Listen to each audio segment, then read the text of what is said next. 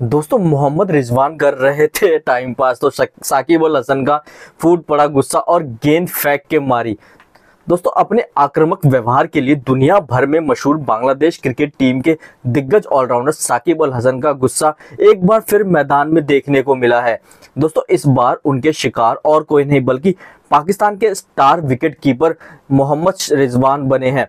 दरअसल, ये वाक्य रावलपिंडी टेस्ट के पाँचवें दिन देखने को मिला।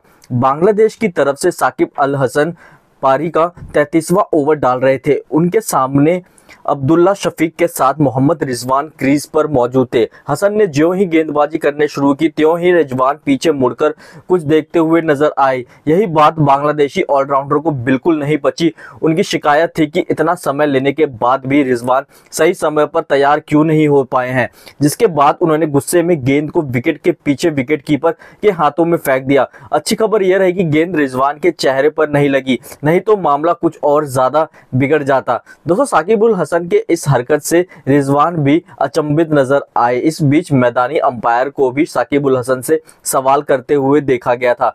यहाँ हसन के इशारों से साफ़ नज़र आ रहा था कि वह अपनी गलती से दुखी हैं और उन्होंने हाथ हिलाते हुए माफ़ी भी मांगी थी। हालाँकि रिजवान की तरफ़ से की गई गलती कोई भी इग्नोर नहीं कर सकता था। मौजूदा समय में बांग्लादेश की टीम ऐतिहासिक जीत के करीब पहुँच गई थी और ऐतिहासिक जीत दर्ज करी है। बांग्लादेश ने पाकिस्तान को पूरे 10 विकेट से हरा दिया है, जो कि बहुत ही बड़ा इतिहास में बांग्लादेश ने नाम दर्ज कर लिया। पाकिस्तान को उसकी सरजमी में हराना, वो भी दस विकेट के तो बहुत चीज़ें हुई। लेकिन हम बात कर रहे हैं साकिबुल हसन। साकिबुल हसन का जो व्यवहार है ना, और ये रवैया है, ये कोई आज की बात नहीं है। बहुत बार कोई लीग में, कोई, आप इंटरनेशनल मैच में ही ना, वो साकिबुल हसन ना अंपायर से भेटते हुए नज़र आते हैं। अंपायरों से, प्लेयरों से हर तरफ़ साकिबुल हसन की बातें चर्चाओं में रहती है। क्योंकि साकिबुल हसन ना, एक बार तो डोमेस्टिक में विकेट भी फेंक दी थी। बहुत चीज़ें करते हैं, बहुत चीज़ें कर चुके हैं। yeah.